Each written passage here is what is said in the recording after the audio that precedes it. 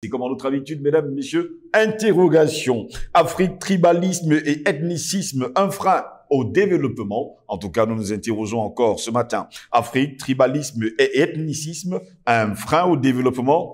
Nous nous interrogeons encore ce matin. Ça nous fait sourire ce matin.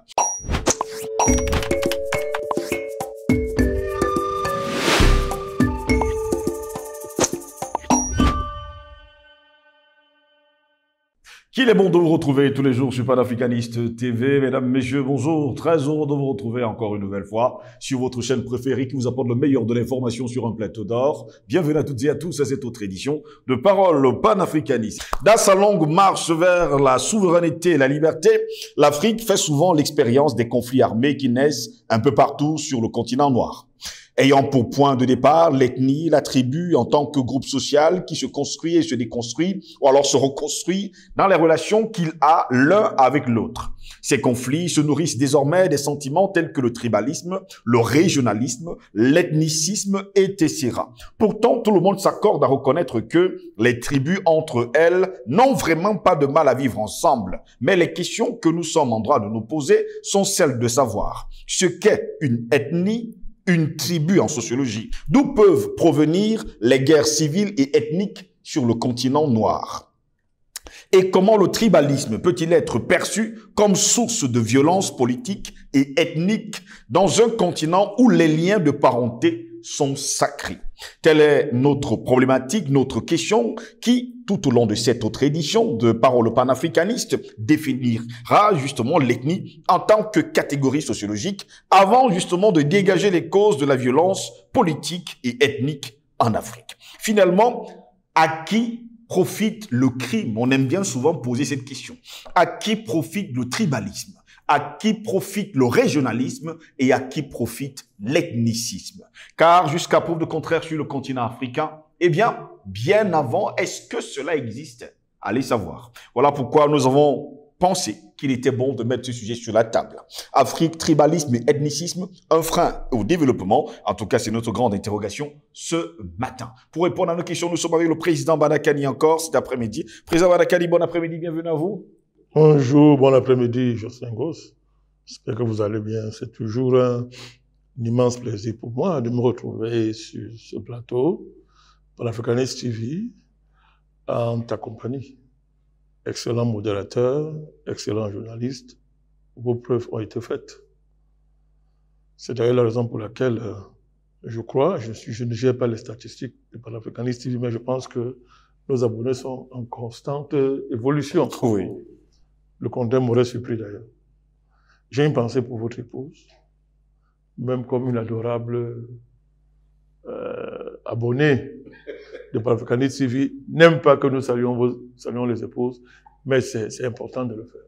Je pense que elle l'a compris, hein, la dame, et je pense que c'est une fidèle téléspectatrice qui nous suit d'ailleurs. Nous l'aimons beaucoup. Voilà, nous l'aimons énormément et nous savons qu'elle nous suit depuis de longues années aujourd'hui. Président Valakali, le sujet qui nous intéresse, Afrique, tribalisme et ethnicisme, un frein au développement. Je commence par là. Est-ce que c'est un frein au développement? Euh, Comme toujours, dans notre démarche pédagogique, il faut poser les mots. Il faut faire atterrir les mots. Quand ils sont, quand ils sont montés très haut, il faut les faire descendre. Comme ça, on simplifie la compréhension. D'abord, euh, euh, euh c'est pas qu'est-ce qu'un frein? Un frein, c'est quelque chose qui bloque, qui ralentit, qui bloque un processus. Mais un facteur, c'est un élément qui concourt à un résultat. C'est deux choses différentes. Alors, quand on décide, on dit que l'ethnie, l'ethnie en soi, un frein le mouvement africain, c'est une confusion intellectuelle. Et c'est fait exprès. C'est une confusion intellectuelle. Il faut clarifier les choses. Euh, l'ethnie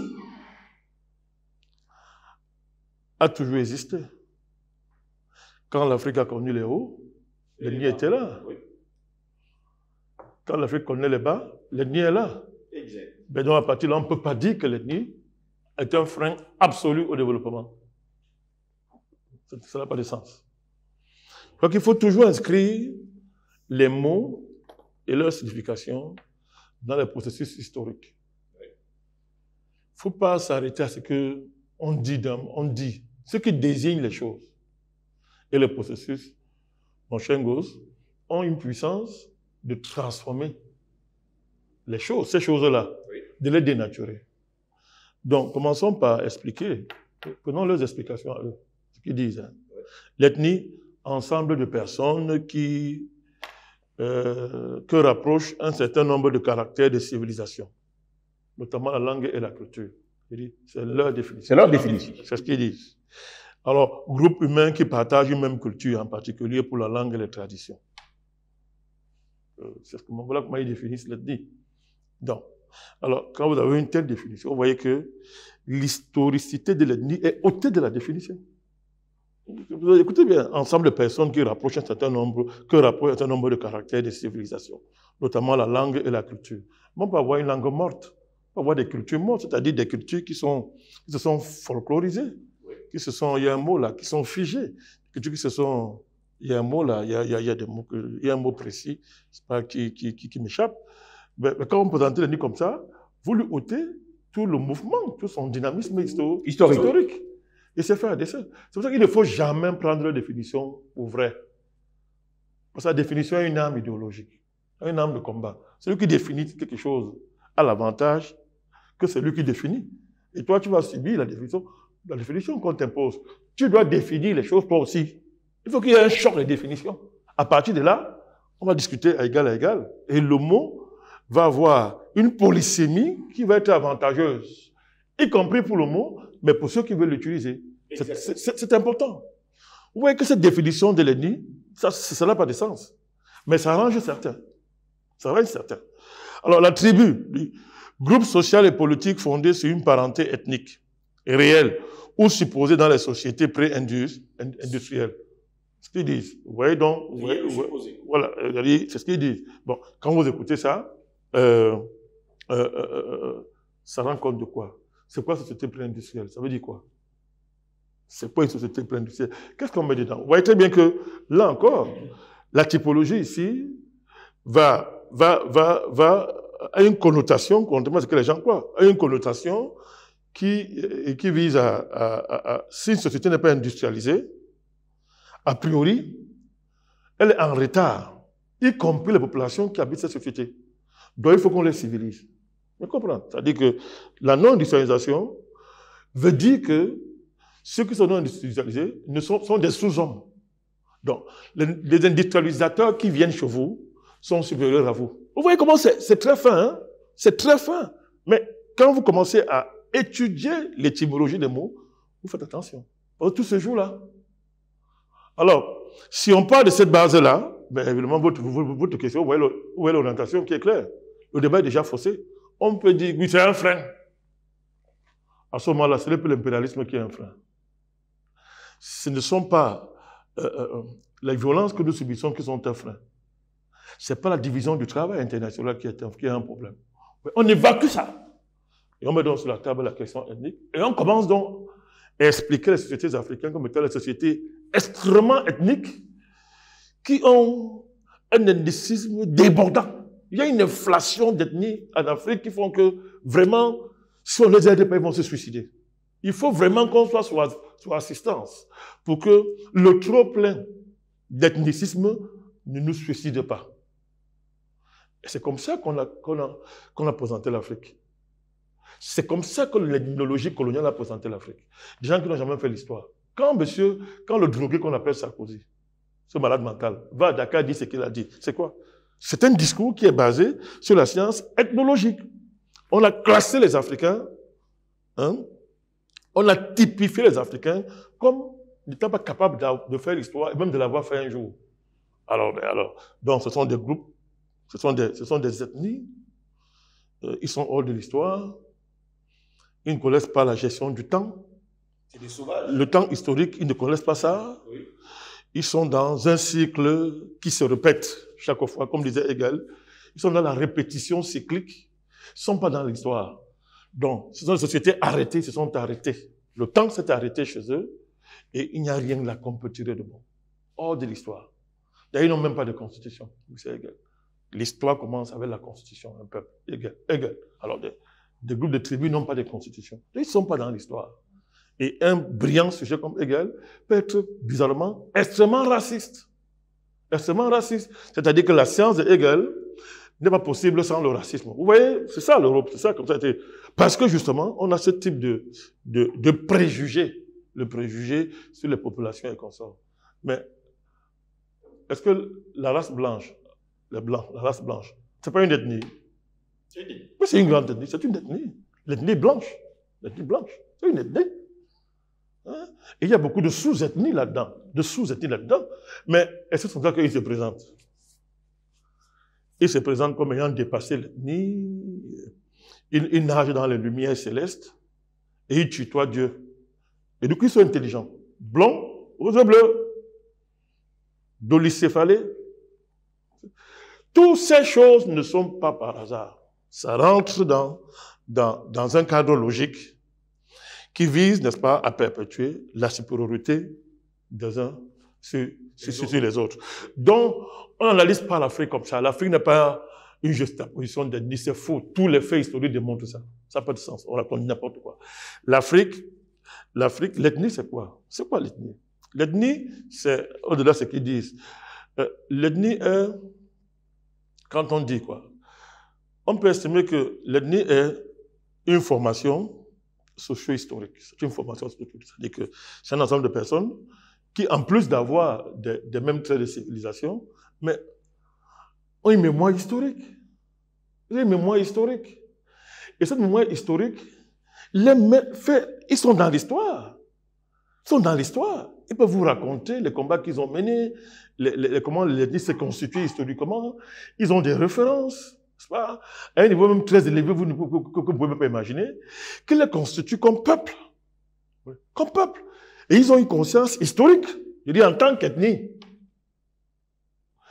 Alors, l'ethnie, peut être le moment, peut être un moment, peut être une partie d'un empire qui a chuté. Vous voyez qu'il y a un groupe ethnique, il y a des, il y a des ethnies qui sont la conséquence de la chute de l'empire.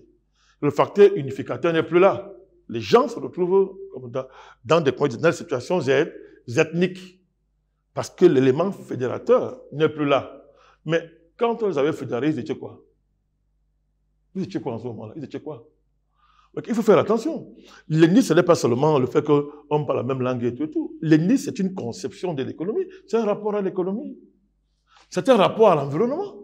Les ethnies vous expliquent c'est quoi l'environnement. Les esprits vous expliquent. Il y a une science ethnique qui vous explique ce que c'est la, nature. C'est quoi le vent? C'est quoi le ciel? C'est quoi l'eau? Il, y a une maîtrise des éléments. La science ethnique, il y a la science. Les gens ont des savoirs. Les gens ont des technologies. Donc, c'est pas seulement le fait de, de faire, entre guillemets, des grimaces, comme ils aiment parler, des grimaces, danser, mettre des, porter des vêtements, des masques.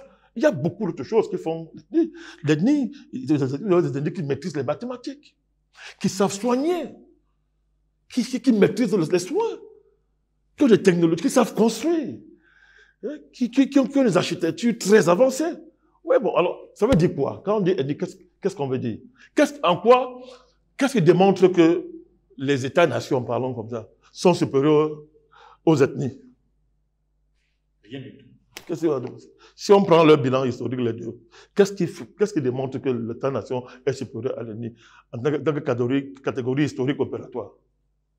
Si on me récolte le préjugé.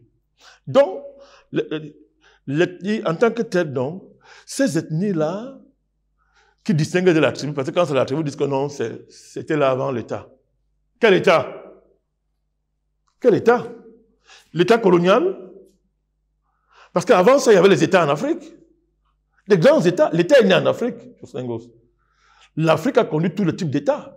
L'État est né en Afrique. Le concept d'État s'est constitué en, Afrique. Mais là, quand vous dites que, bon, des tribus, groupes sociaux et politiques fondés sur une parenté ethnique réelle ou supposée dans les sociétés pré-industrielles. Maintenant, on vous dit, d'un point de vue historique, une tribu consiste en une formation sociale existant avant la formation de l'État.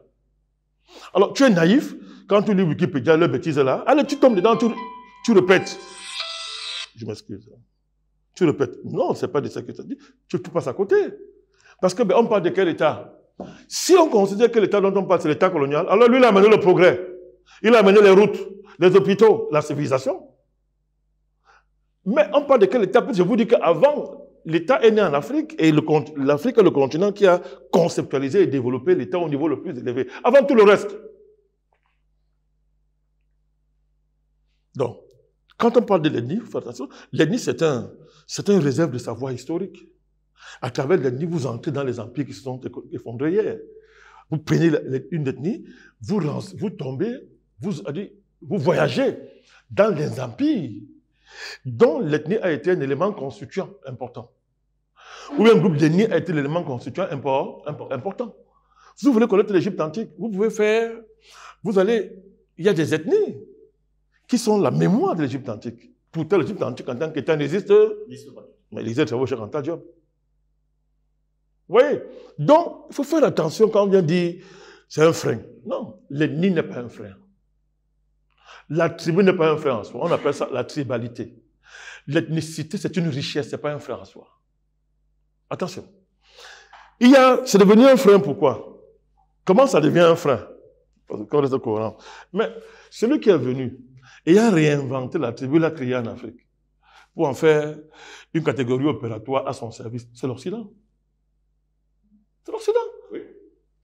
Parce que vous ne comprenez pas les ethnies africaines si vous ne connaissez pas toute l'histoire africaine. Les empires, les, les, les, comment ça, les grands pays, les grandes nations comme l'Égypte antique. Vous avez l'explication des ethnies actuelles quand vous remontez l'histoire de ces empires-là, ces empires, l'histoire de ces grands pays qui s'étaient constitués.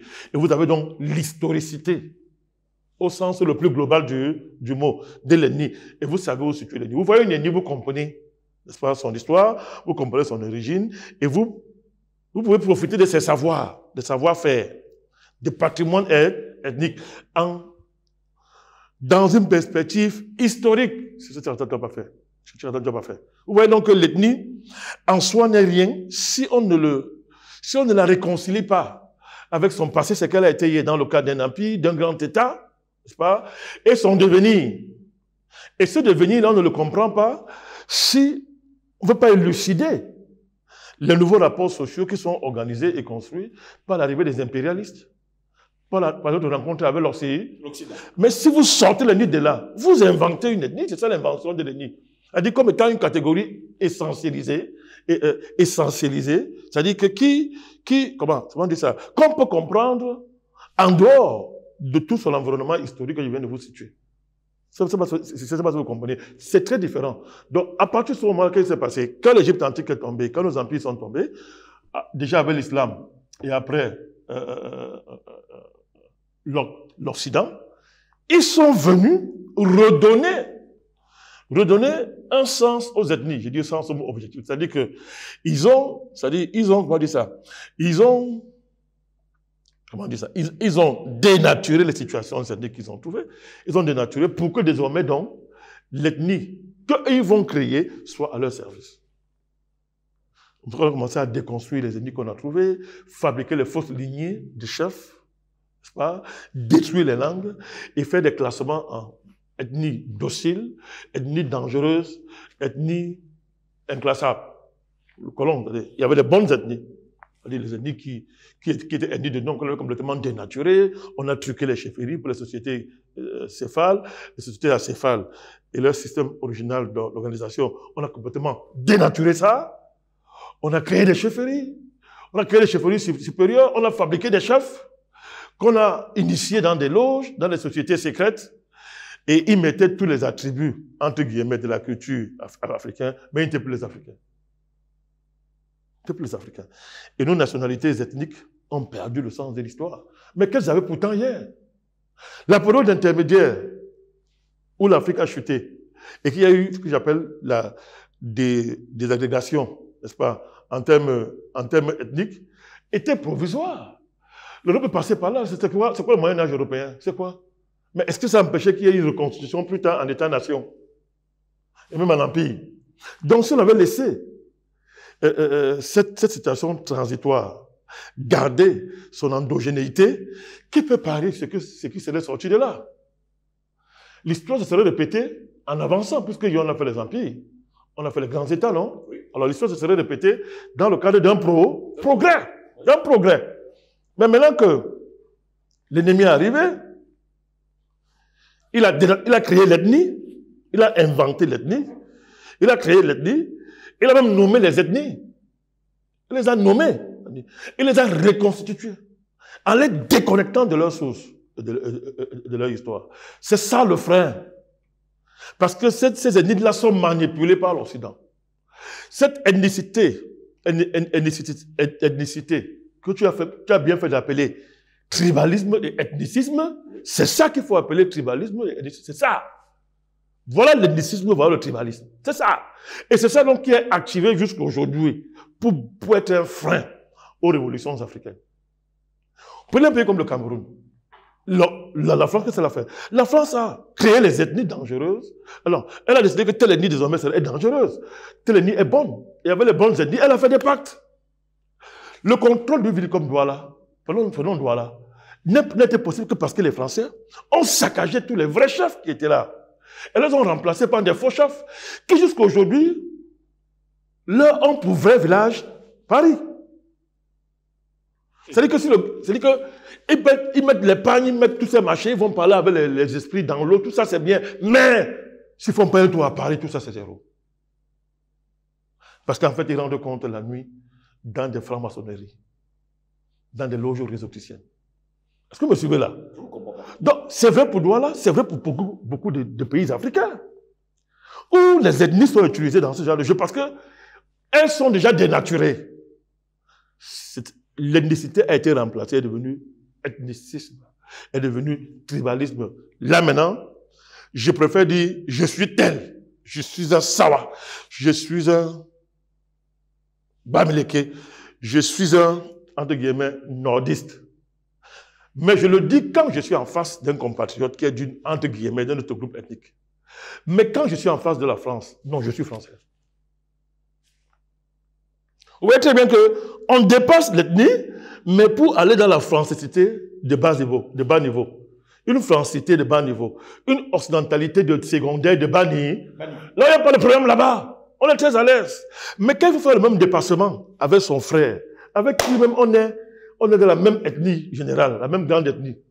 C'est-à-dire, parlons comme ça, euh, puisqu'on est dans le cadre de débat sur l'ethnicité, avec qui même on a même à dire que c'est ton frère. Parlons comme on ça. a de choses à partager. Du point de vue ethnique, c'est ton, c'est ton frère. Mais ce n'est pas pas possible. On fait la guerre. On s'entretue. Dans le cadre d'une géoethnie. Uh -huh a dit la géopolitisation de l'ethnie. On appelle ça la géoethnie. Dans le cadre du géoethnie qui a été organisé par la France. Au Cameroun, par exemple, il y a des tribus, entre guillemets, au des groupes sociaux. J'aime préfère ce mot-là, parce que je veux pas. Il y a des groupes sociaux à qui l'accès au pouvoir est interdit à cause de, leur comportement pendant la guerre d'indépendance. Vous le savez, non? C'est dangereux. Ça dit que quand, les Français créent l'arsenal sud au Cameroun, c'est pourquoi? C'est quoi l'arsenal sud?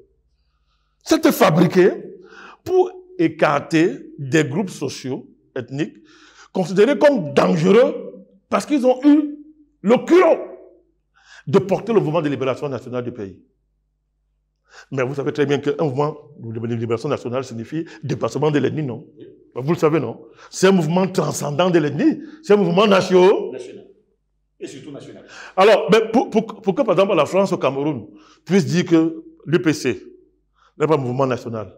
Il fallait qu'elle fasse de l'UPC un groupe ethnique qui est la France. Qui est la France. Et qu'elle va essayer d'opposer à d'autres groupes qu'elle aura auparavant dénaturé. C'est pour ça que vous allez voir, par exemple, on a tout fait pour dire que l'UPC c'est le Bassar, ou bien un groupe dit c'est un Bamileke. Mais c'est faux. Les vrais rapports secrets français eux-mêmes disent que non, c'était un, un, mouvement national, authentique, un des plus grands mouvements nationalistes de l'histoire du monde. Dans l'idée d'un dépassement. Vous voyez, vous voyez donc très bien que dans ça, dans ça, il est question de, de préjugés du des tribus et des ethnies qu'on a fabriquées pour bloquer l'histoire des pays africains. Pour empêcher le mouvement historique. Parce que la tendance historique des Africains, ça a toujours été de s'élever au niveau des États, au niveau des empires. Ça a toujours été de partir des, concessions familiales de la famille pour se hisser au concept le plus élevé de la vie sociale, qui est la nation, qui est même le global. C'est ça, la trajectoire de, de, de, de l'Afrique. Mais, dès que l'ennemi est arrivé, il a cassé ça.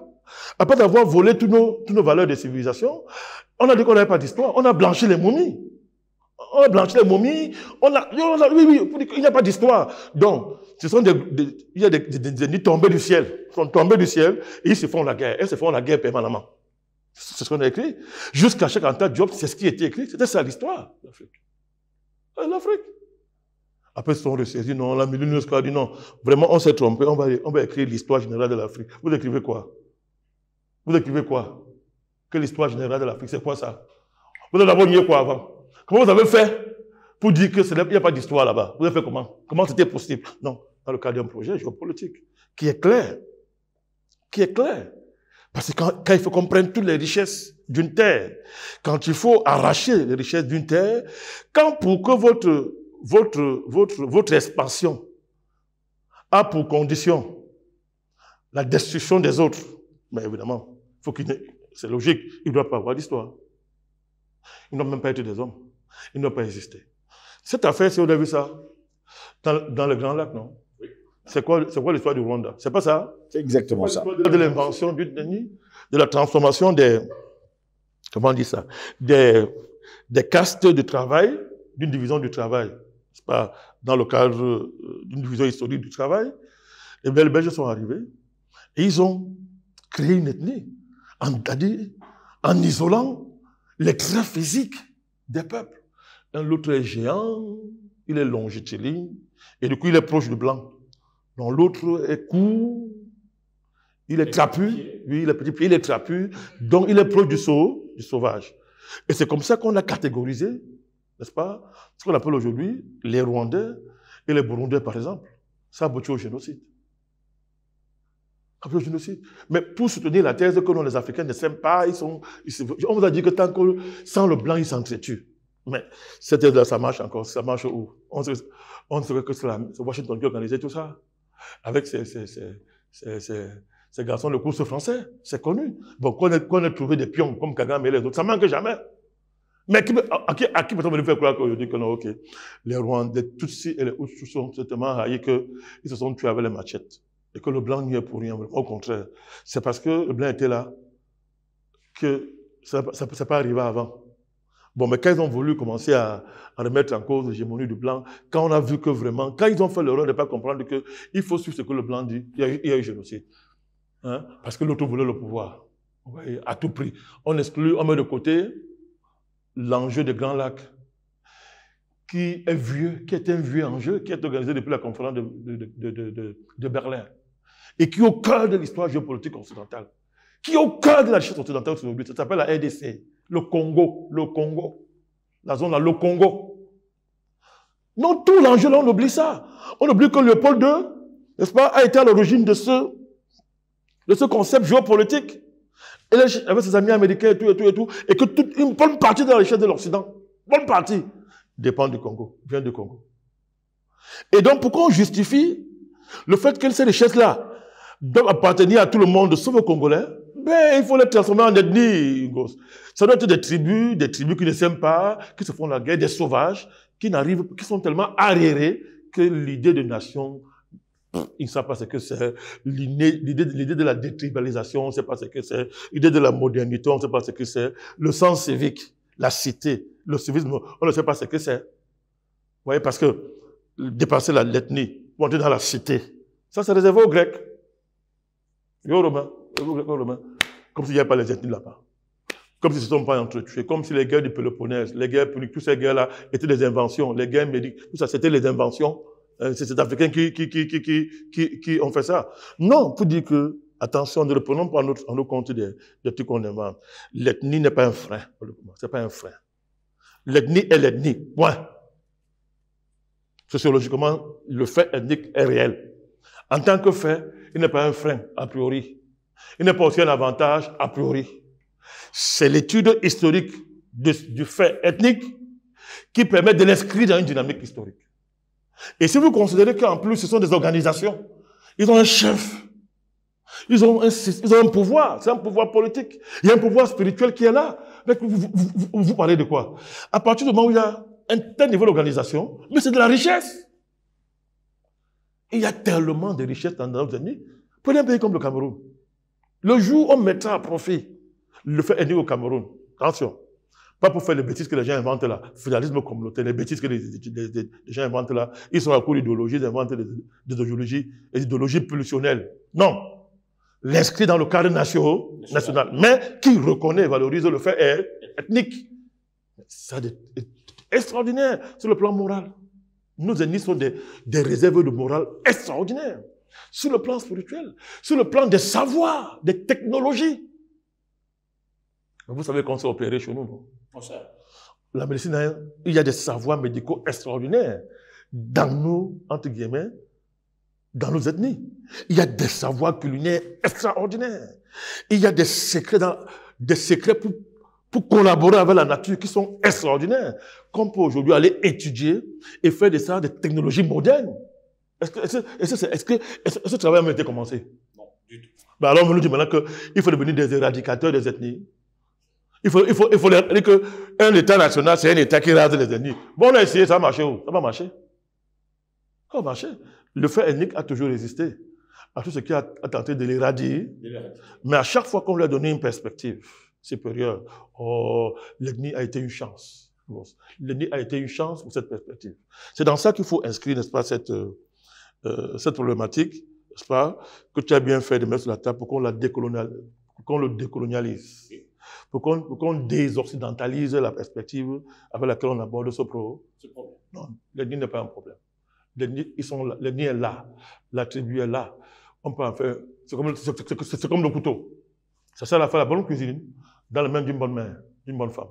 Ça sert à tuer dans la main d'un bandit, d'un brigand. Ce n'est pas le couteau qui est le problème. Merci à vous, Président Badakani, d'avoir été là cet après-midi. C'est moi qui vous remercie. Vous avez très bien compris, mesdames, messieurs, qu'il faut arrêter d'utiliser le narratif qui nous vient tout droit de l'Occident et surtout de la colonisation, pour ne pas dire le néocolonialisme, et la recolonisation de l'Afrique. Parce que sur le continent, nous sommes tous des frères, des sœurs, des pères, des mères, et nous luttons pour une seule chose, eh bien, c'est la liberté, la souveraineté du continent africain. Plaisir de vous retrouver très prochainement. Bonne journée à toutes et à tous. Thank you.